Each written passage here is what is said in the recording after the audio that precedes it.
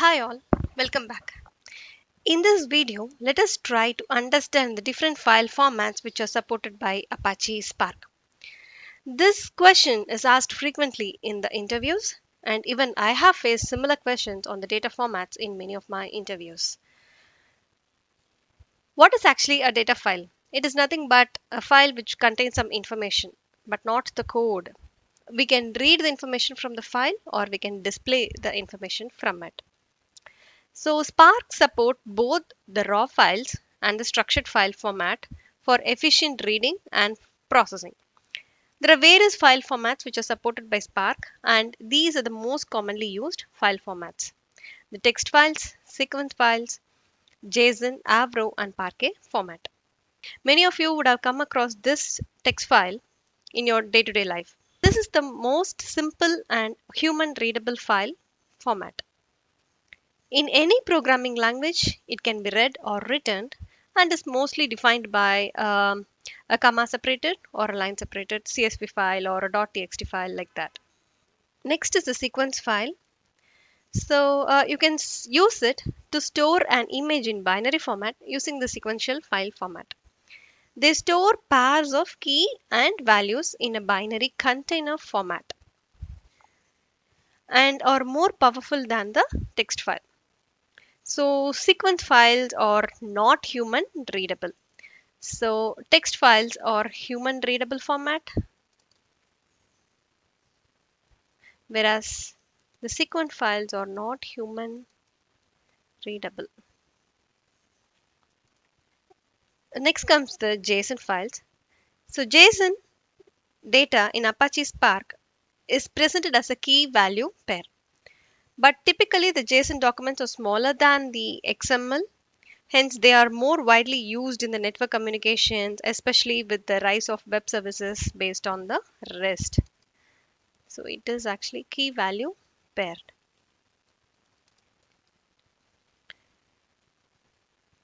Uh, before proceeding to the Avro, let us try to understand the Parquet format.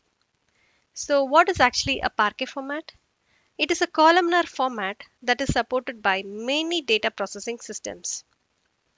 In order to understand this Parquet, let us try to understand what a columnar format is.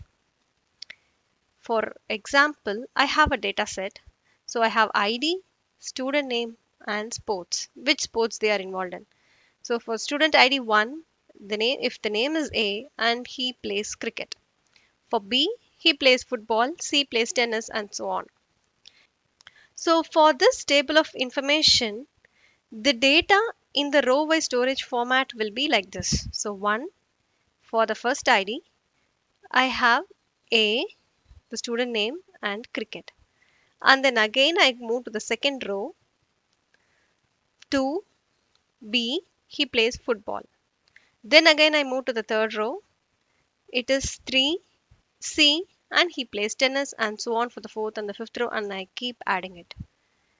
But when I go for the column based storage, so how will be my column based storage? So in this case it will be 1, 2, 3, 4 and 5. The first column information is represented first and then comes A, B, C and D followed by cricket, football, tennis and so on. So this is actually the column based storage system.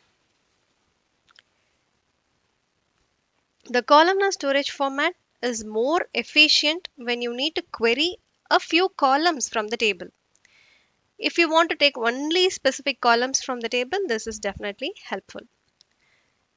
It will read only the required columns since they are adjacent. Thus, uh, we are minimizing the number of input and output operations. Also, it consumes less space and uh, support type specific encoding system. And now let's jump to the Avro format.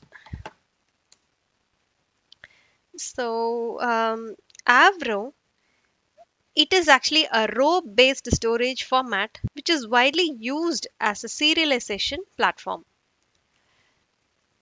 Avro format stores a schema in the JSON format, making it easy to read and interpret by any program. So the data itself is stored in a binary format, making it compact and efficient in Avro files. So Avro format is a language neutral data serialization system and it can be processed by many languages like uh, C, C++, uh, C Sharp, Java, Python and even in Ruby. One important feature of Avro format is that uh, robust support for data schemas that changes over time. That is, Avro handles schema changes like missing fields, added fields and changed fields also let us try to understand the difference between Avro and Parquet. First is Avro is row based storage whereas Parquet is columnar based storage format. Column based storage. And the next difference is Parquet is better for analytical querying than writing, whereas Avro is suited for writing operations.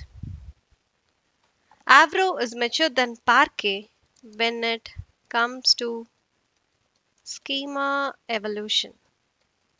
Also, we have seen uh, Parquet only support uh, schema append, whereas Avro supports a much featured uh, schema evolution that is adding or um, modifying the columns.